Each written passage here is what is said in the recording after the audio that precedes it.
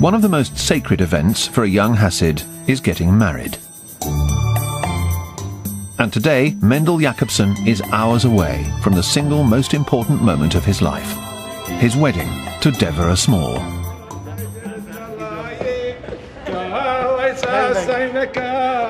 Oh yeah, I feel great. Okay, so I feel at peace, which is interesting actually.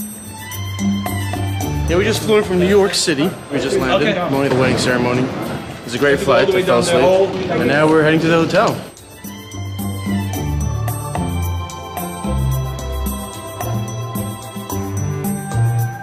They have not seen or spoken to one another in a week, a custom in their community. It's about creating eternity. You know, marriage today has become somewhat like a party. You know, here it's uh, it's about really sanctity. It's about eternity. It's about um, knowing the moment of truth that lasts forever. I'm already welling up, you know, just thinking about it. The bride is in a separate room where she receives congratulations from her female guests, who also hope to get her blessing. On this day, the bride is considered almost holy. The women are in a special room, and that's where everyone goes to the bride for um, a blessing.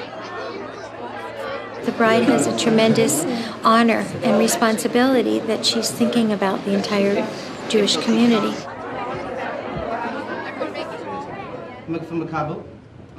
Shortly before his wedding, Mendel follows tradition by going before the other men of the community to speak about the mysticism of marriage.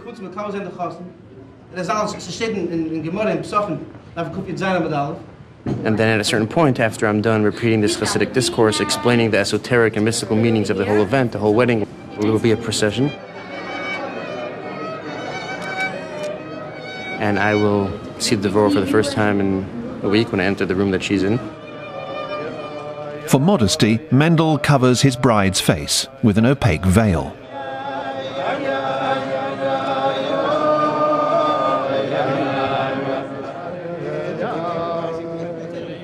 It's a custom to have it under the stars, even if it's the stars aren't out yet. It's still technically under the sky.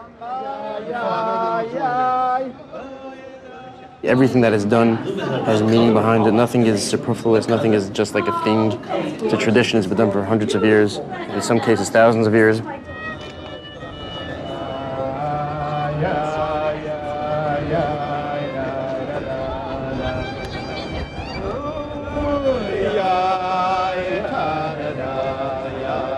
He Teres Hachsidus, Virchas Mazel Tov Mazel Tov, and the Rebbe signature. English translation. By the grace of Hashem, and they too continue a ring in that eternal golden chain of Jewish continuity and eternity. Hare at das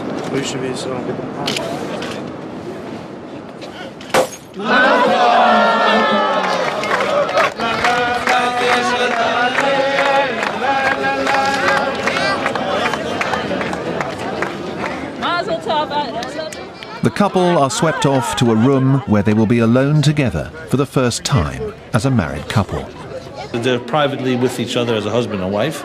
They'll be there a few minutes, and then they will uh, go out, probably take some pictures, and uh, then greet their guests, and the party begins.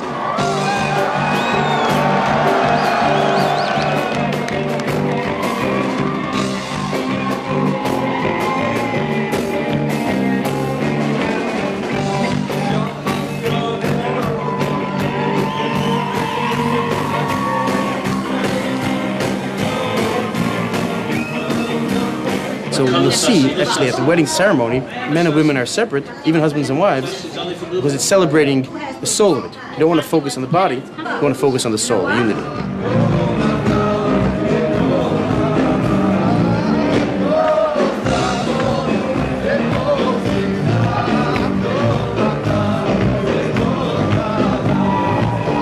The reason it's just a great celebration is because it's literally like the creation of the world. It's two opposites coming together to create a new whole marriage. Devorah completes me. so it's very difficult for me to even imagine life any other way.